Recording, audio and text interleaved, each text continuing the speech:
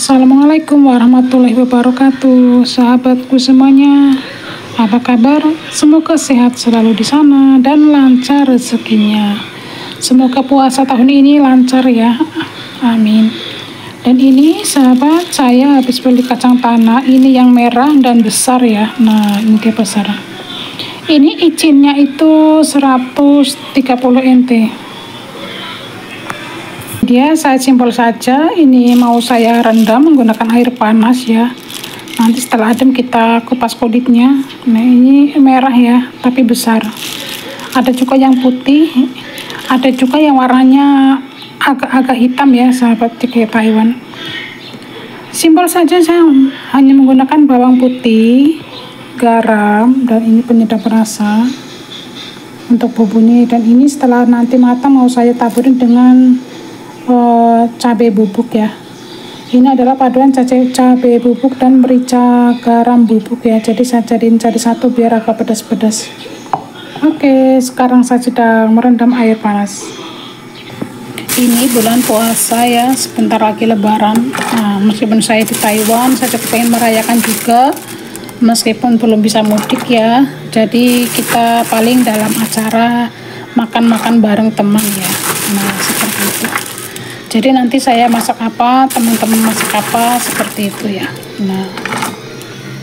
Oke okay, sahabat ini pun segini sudah banyak ya. Nanti kita ya kalau sudah matang ya bagi teman dikit-dikit gitu ya. Biar nicipin lihat. Wah airnya langsung berubah nah,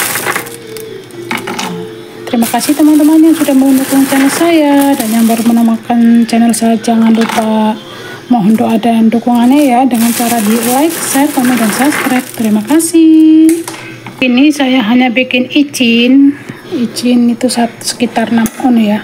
Nah pun kurang paham timbangan-timbangan di Taiwan ya biasanya tuh sini bilangnya bilangnya tuh boleh izin izin gitu ya sahabat. Izin itu sekitar satu tatamanku sih 6 on ya kalau tidak salah ya. Ini saya matikan apinya ya saya rendam menggunakan air panas saya matikan apinya lalu nanti setelah adem uh, biar ini agak mekar ya saya kupas kulitnya. Kupas ini sangat lama sekali ya makanya saya oke. Okay. nanti wah ini telur airnya sampai merah ya. Tuh semua saya cuci dulu. Eh saya pindahin dulu ya. Nanti baru dibuka buangin kulitnya. Ya. Nanti baru dibuangin kulitnya. Nanti dikupas kulitnya ya sahabat Alhamdulillah akhirnya selesai juga kacang tanahnya untuk bikin kacang bawang lur. Nah ini dia. Saya tiriskan ya nanti setelah tiriskan kita bumbuin ya. Oke kita lanjut. Ini dia setelah ditiriskan mau saya tiriskan dulu ya sahabat biar airnya agak mengurang. Nah nanti kita ulek bumbunya dan kita masak. Ini saya ya bumbunya menggunakan yang biasa saja ya. Ini dia setelah ditiriskan mau saya ulek bumbunya ini bawang putih dan garam saya ulek. Dan ini ada bawang putih yang dirajang-rajang nah saya tambahkan. Setelah bumbunya diulek-ulek kita masukkan ke dalam wadah dan tambahkan penyedap rasa ya. Setelah itu bumbunya diaduk-aduk dan biarkan beberapa menit juga ya baru digoreng Nah ini saya yang biasa saja ya, boleh juga ditambahkan daun jeruk atau lainnya sesuai selera ya. Saya ini yang biasa saja. Dan ini nanti yang separuh saya kasih cabai bubuk dan yang separuh lagi yang rasa ori ya. Kacang babang itu uh, menurut saya sudah enak sendiri seperti itu ya. Jadi hanya dikasih garam saja pun sudah enak ya. Ada juga orang yang suka uh, ditambahkan kemiri ya sesuai selera. Lanjut kita goreng kacangnya sampai matang. Ini kebetulan minyaknya saya agak banyak jadi sekalian saja. Ini paling setengah kilo. Oh iya saya suka itu. Kalau uh, ngupasin kacang ini ya saya tuh sukanya itu yang dibelah bagi dua sekalian seperti ini ya. Nah jadi uh, mudah matangnya juga sambil menggoreng kita sebentar-sebentar diaduk-aduk biar matangnya merata.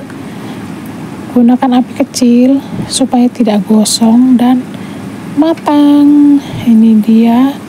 Oh iya ada juga yang suka itu kalau masak kacang bawang itu direbus dulu ya menggunakan santan dan bumbunya itu direbus dulu biar meresap seperti itu ya biarnya juga ya. Nah kalau saya itu uh, suka yang langsung saja. Seperti ini uh, semua sesuai selera ya. Saya pengen yang simpel saja yang praktis saja. Nah ini saya pindahkan wajahnya. Karena wajan yang tadi itu agak lengket di bagian bawahnya ya. Karena wajan yang pertama tadi itu biasanya itu untuk numis sayur ya. Jadi kalau untuk goreng-goreng itu pasti lengket.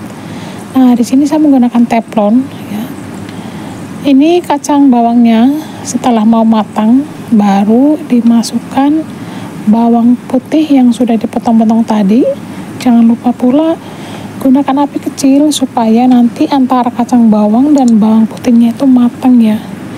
Jadi bawang putihnya itu dimasukkannya itu agak belakang setelah kacang bawang akan matang supaya nanti semuanya matang dan tidak gosong jangan lupa pula sebentar-sebentar diaduk-aduk ya supaya matangnya merata. Oh, ini sudah ada bunyi kerasak-kerasak seperti itu ya sahabat. Berarti ini sudah hampir matang ya. Uh, ini pun saya sudah menicipin tadi setelah buka puasa menicipin gimana rasanya? Wah rasanya ya enak. Nah ini untuk saya sendiri saja ya. Karena untuk kakek saya juga tidak kuat karena ini uh, keras ya kakek saya itu sudah uh, ompong ya seperti itu ya sahabat jadi untuk sendiri ya. Paling nanti kalau acara makan-makan sama teman lah baru kita bawa sedikit. Terima kasih sahabat yang sudah menemukan channel saya dan yang baru, yang baru, baru menemukan channel saya. Jangan lupa di like, share, komen, dan subscribe. Terima kasih. Nah ini dia. Sudah matangnya meratakan antara kacang bawang dan bawang putihnya terima kasih selamat mencoba resep kacang bawang sederhana dari saya. Sampai jumpa di video selanjutnya. Bye bye ini dia. Cantik ya sahabat ya. Sederhana tapi cantik simple. Nah saya itu setiap lebaran itu di Taiwan sini tuh selalu bikin kacang bawang ya. Karena dekat saya sini banyak orang menjual kacang tanah. Nah ini sedikit saya masukin cabai bubuk biar ada agak pedas-pedasnya nah ini mantap banget ya teman-teman boleh juga dicoba di Indonesia itu apalagi banyak ada bumbu rasa balado, rasa keju dan lainnya ya. Wah, mantap banget ya. Karena saya di sini dia tahu itu susah jadi apa adanya aja. Seperti ini saja pun sudah mantap ya. Ikut merayakan lebaran di meskipun di Taiwan belum bisa mudik ya. Terima kasih. Oh ya, saya juga tidak libur ya uh, karena ya menghemat ya. Terima kasih.